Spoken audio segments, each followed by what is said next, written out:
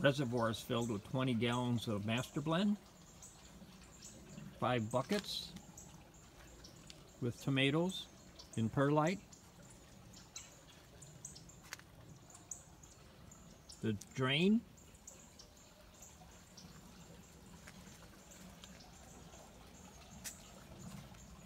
goes back into the reservoir.